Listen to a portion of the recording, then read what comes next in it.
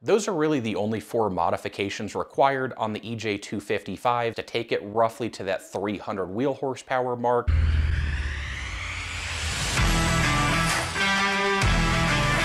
Hey everyone, this is Zach with 8020 Media, here today with a video on how to build a 300 wheel horsepower Subaru EJ255. The EJ255 is a flat 4 turbocharged engine produced from 2004 through 2014. It's most notably used in the WRX from 2006 until 2014 and produced anywhere from 210 to 265 horsepower and 225 to 245 foot-pounds of torque from the factory. Now those are respectable numbers, especially just for the base WRX in a relatively small 2.5 liter flat 4 engine. However, thanks to its turbocharged design, the Subaru EJ255 also leaves a lot of untapped potential on the table from the factory. It's really a great tuner's engine that can easily be modified to end up in the 300 wheel horsepower ballpark just on the stock turbocharger and stock fueling. So with that said, let's go ahead and jump into some of the best basic bolt-on upgrades for the Subaru EJ255 engine. Number one on the list, we have tuning. Tuning is really the foundation to building a more powerful EJ255 WRX. Now that's especially true on the EJ255 as this engine can be a little bit finicky. Really any of the EJ engines can be a little bit finicky with modifications without actually tuning for the changes and properly accounting for the different airflow boost, etc. So it is very important to have tuning not only for the impressive power gains but also for overall safety and ensuring that you're maximizing the gains from additional modifications. That said, one of the most popular and best tuning options for the EJ255 is the Cobb Accessport. This allows for flash tuning and includes some basic off-the-shelf maps. The Cobb Accessport can offer power gains of roughly 20 to 30 horsepower and about 15 to 20 foot-pounds of torque, so respectable gains for just a tune. Now, a couple things to mention when it does come to tuning. You're really going to see the most impressive power gains on higher quality fuels, so whether that be small ethanol blends or something like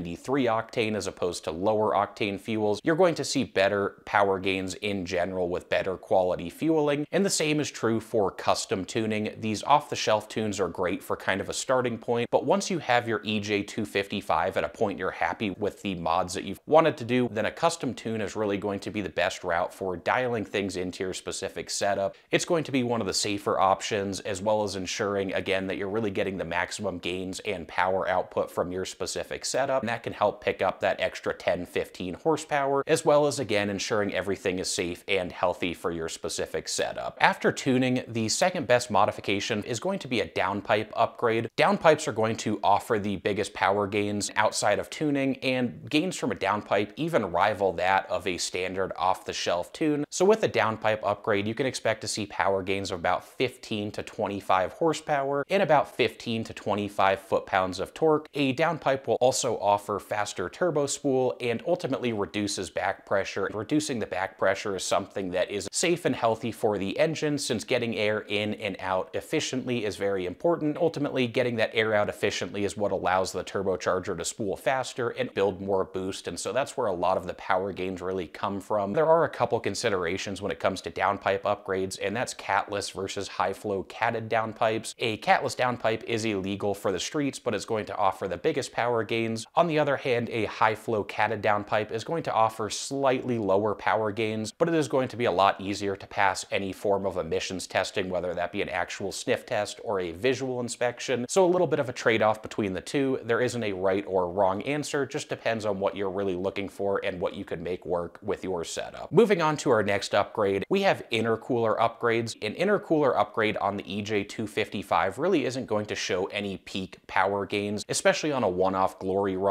If you take your car after driving normally, not really beating on it, and dyno it with the stock intercooler, and then do the same with an upgraded intercooler, you probably won't see any significant power gain. So really the point of an intercooler is for engine health and safety by keeping those intake air temperatures in check, and that's also going to result in much more consistent, smooth performance. There are a couple different routes to go here, but before diving into that, just want to talk about intercoolers a little bit on the EJ255. The stock intercooler is relatively efficient efficient at stock power levels. However, once you do the tuning and downpipe, you're now making more power, more boost, and that is ultimately going to lead to more heat, and that is where the stock top mount intercooler becomes very inefficient, and the engine can start to experience some heat soak, which will ultimately result in power loss, as well as a greater chance of running into engine knock and detonation, which can be devastating, especially if you're really getting up to pushing the limits of this engine. So a top mount intercooler upgrade is a great option. A lot of people simply convert to the WRX STI intercooler. Fits into the factory location, very simple, inexpensive upgrade for the intercooler. So ultimately, stock STI intercooler upgrade on the EJ255 is a great option if you're just looking to stick with the stock turbocharger and kind of these basic bolt-on upgrades. However, if you're looking to take things further, then there are tons of other great top mount intercoolers on the market. So that's one route. And then the most advanced route that will really offer the best cooling is actually converting to a front mount intercooler. However, this is a lot more complex and expensive due to all of the routing of the intercooler and having to move that to the front of the vehicle. So something that's definitely overkill on most